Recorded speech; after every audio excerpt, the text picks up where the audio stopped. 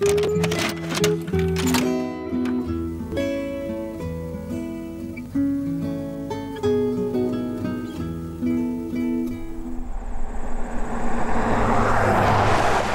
news rolled into Northome, Minnesota on November 17, 2003.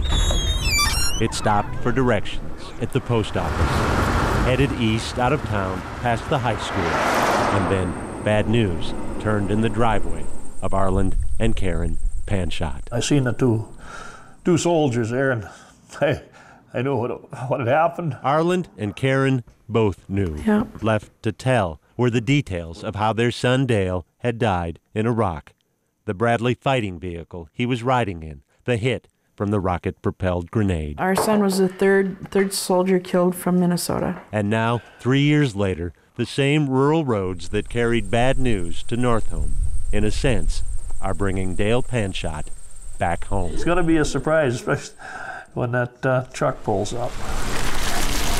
Eyes would be wider still if they could back up the truck two weeks and somehow see the woman delivering their son. Oh, yeah. Woo! Kaziah cooks. She starts cranking, she cooks.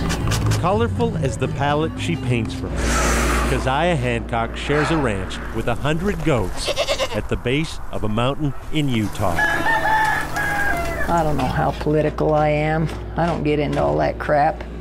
I just love freedom, okay? Here, 1,200 miles from North Home, Kaziah is enjoying the company of Staff Sergeant Panchot. What a sweet guy. I believe he is a guy that'd give the shirt off of his back. I really like that one. Kaziah should know, as an artist with a flair Now for giving. that I can dance. It started three years ago when a tearful Kaziah painted a portrait of Utah's first fallen soldier, then kept going. I so appreciate good guys. 50, then 100, now nearly 250 servicemen and women from nearly every state brought back to life on canvas in Kaziah's bedroom studio.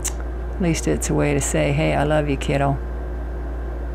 So, that you may never be forgotten. And when their time at the ranch is through, Kaziah Hancock sends them home.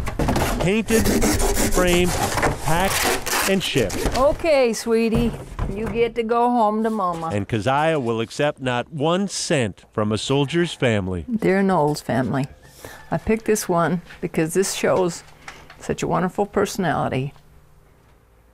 There is a face anyone could love.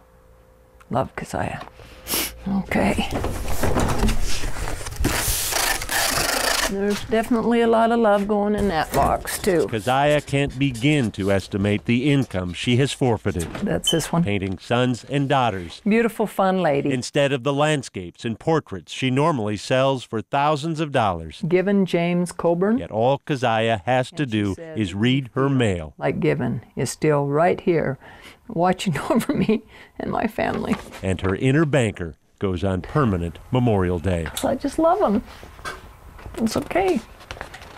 And, and it's not this big goddamn sacrifice, and it's not this pain and misery that I have to go through. Hell, I'm not in in misery. I'm I'm working for a friend. They're they're my buddies. We got a good thing going. This is a partnership. This is a team. Tough as a sailor, tender as a mom.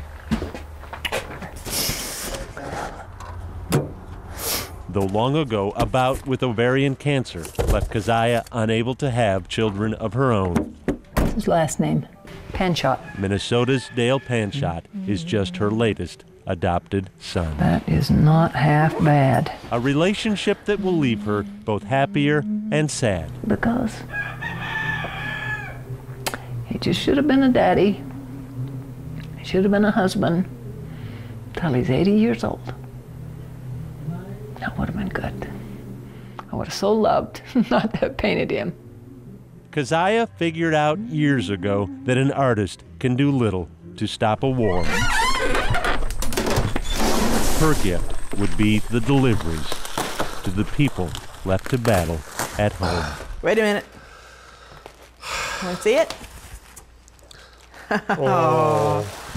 that is awesome.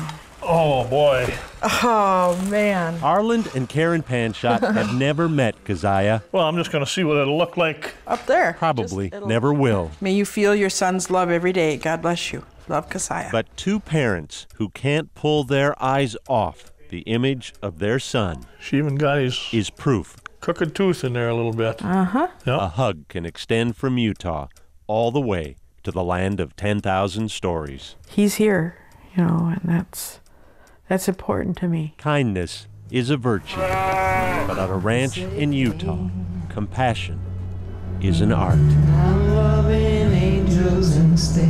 There is nothing I'll ever paint that'll be more appreciated than that.